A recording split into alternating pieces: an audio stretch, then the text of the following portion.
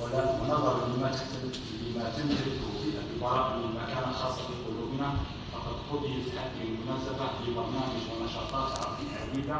لفائده الاطفال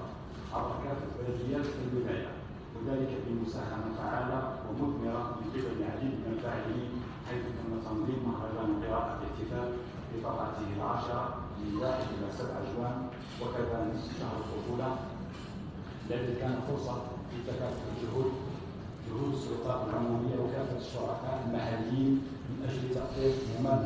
ممنهج ومثالي لشريحه الاطفال التي تعد التي تعد شباب الغد وامل المستقبل. وفي ذات المسعى الراميه إلى تعزيز الاهتمام بفئة الأطفال فقد تم بمناسبه موسم التصفيات الحالي تخصيص 14 هيكل عمومي كمؤسسات لتنظيم عملية التخييم لفائدة ما يقارب 3600 طفل لا سيما المحددين من ولايات الجنوب والرباط العليا كما سيتم استقبال 900 طفل من أبناء جاليتنا بالمهجر بالإضافة إلى أطفال من الشعب الصحراوي الشقيق أيتها السيدات الفضليات الساده الافاضل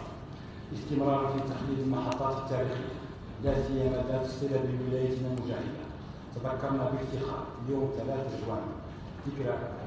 186 لمعاهدة تامه ببلديه الامير عبد القادر التي تحمل اسم أحد أعظم الشخصيات المؤثرة في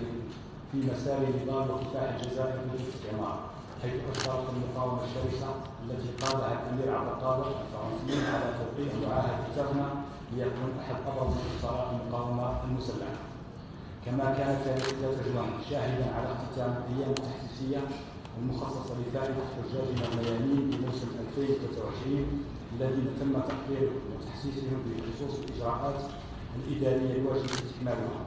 وكذا التفكير بكيفية أداء مناسك الحج حيث تم في هذا الخصوص توفير كافة الظروف لراحة الحجاج وتسهيل التعاملات الإدارية اللازمة